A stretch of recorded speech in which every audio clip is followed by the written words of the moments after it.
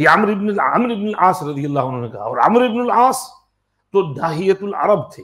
حضور نے نہیں کہا عمر ابن العاص نے اپنے تجربہ سے کہا۔ حدیث میں تو صرف اتنا ہے کہ قیامت جب قائم ہوگی تو دنیا میں سب سے زیادہ آبادی عیسائیوں کی ہوگی۔ یہود کے لیے تو اللہ نے کہا اللہ بحبل من اللہ وحبل من الناس۔ ان کو تو اللہ کی طرف سے کوئی سہارا مل جائے یا لوگوں کا سہارا مل جائے تو وہ جی سکیں گے۔ اس وقت بھی انہوں نے اپنے بڑے بھائی کا سہارا لیا ہے اور اس کے بلبوٹے میں اس کی گود میں بیٹھے ہیں اور اس کے سہارے پر حکومت کر رہے ہیں۔ تو ان کے لیے تو اللہ نے یہ کہا اور لیکن عیسائیوں کے لیے کہا کہ ان کی حکومت ہوگی اور ان کے ممالک بھی بہت ہوں گے، ان کی آبادی بھی بہت ہوگی۔ جب سور پھونکا جائے گا، اس وقت سب سے بڑی آبادی دنیا میں عیسائیوں کی ہوگی۔ یہ جو ڈیمونسٹریشن ہو رہے ہیں یونیورسٹیوں میں انکمپمنٹ ہو رہا ہے۔ یہ وَأَمْنَوْهُمْ مِنْ ظُلْمِ الْمُلُوكِ کا نتیجہ ہے۔ بادشاہوں کے ظلم کو روکنے کی سب سے زیادہ کوشش کرتے ہیں یہ لوگ۔ نا؟ یہ لوگ بادشاہ اگر ظلم کرے تو یہ پوری کوشش کر کے اس ظلم کو روکتے ہیں۔ ان کے لوگوں نے پیچھے جو ظلم کیے ویتنام پر بم جو پھینکے تو ان کو کس نے روکا تھا؟ ابھی تو وہ اور آگے جانے والے تھے۔ جو کولمبیا یونیورسٹی ہے، اس کے اسٹوڈنٹس ہی نے آواز اٹھائی تھی۔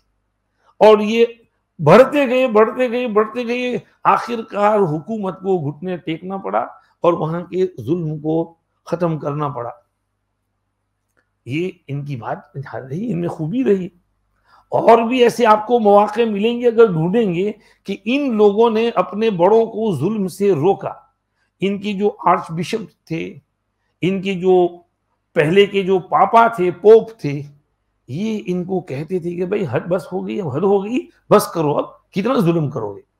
اس وقت بھی جو ہو رہا ہے غزہ میں، ہم لوگوں سے وہ کام نہیں ہو رہا ہے جو یہ کر رہے ہیں۔ آپ دیکھ لیجیے، یہ یونیورسٹی والے بچے جو ہیں، کھڑے ہو گئے ہیں۔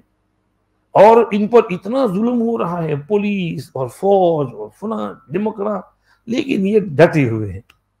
اس سے بڑی کیا اس سے کیا ہوگا؟ کیا بڑی بات ہو کیا کہیں کہ ان کو نہ اپنی ڈگری کی پڑھی ہے، نہ ایگزام کی پڑھی ہے، نہ کچھ پڑھی ہے ایکسپیل ہو رہے ہیں۔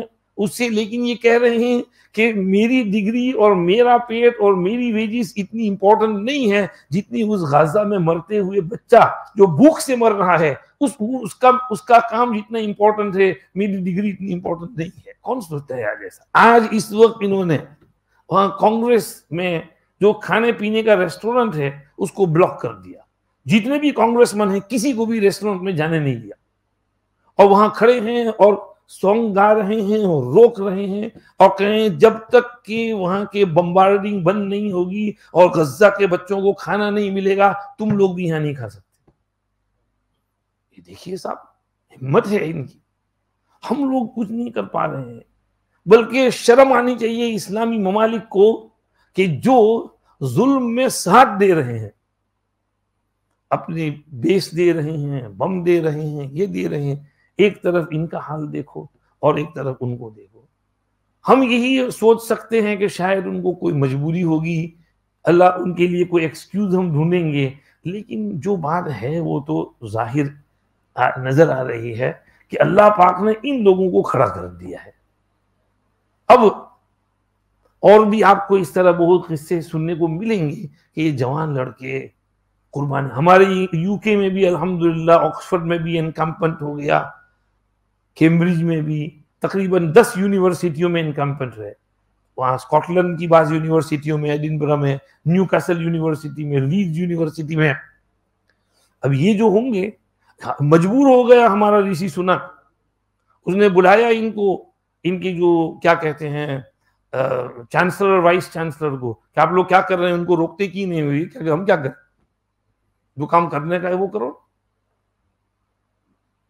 تو اللہ پاک نے ان کو یہ خوبی دی ہے۔ لگتا کچھ ایسا ہے، شاید اللہ پاک ان کی ذریعے سے کوئی تبدیلی لائیں گے۔ آئے گی، روک تھام آئے گی، یہیں سے آئے گی۔ ہمیں ان کے لیے دعا کرنی ہے۔ ایک دعا تو یہ کرنی ہے کہ اللہ ان کی، ان کو کامیابی نصیب کرے۔ اور ان کی حفاظت کرے اور جو پولیس اور فوج وغیرہ ان پر سختی تشدد کر رہی ہے، اس سے ان کو محفوظ رکھیں۔ اور تقریباً پتہ نہیں کتنے اسٹوڈنٹ کو انہوں نے اریسٹ کر لیا ہے۔ اللہ ان بیچاروں پر رحم کرے، ان کی جان چھڑائے۔ دوسری دعا یہ کرنی ہے، اللہ ان کو ایمان کی دولت عطا کرے۔ میں تو کبھی سوچتا ہوں کہ اگر یہ کلمہ پڑھنے ایمان والے ہو جائیں تو شاید یہ دین کی خدمت ہم سے زیادہ اچھی کر سکتے ہیں۔ خدا نے ان کو سمجھ دی ہے، فہم دیا ہے، حلم دیا ہے، ترتیب دی ہے، نظم و نسق دیا ہے۔ ترتیب سے سب کام کرتے ہیں۔ شاید یہ دین کی زیادہ خدمت کر سکیں۔ تو ہمیں ان کے لیے دعا مانگنی چاہیے۔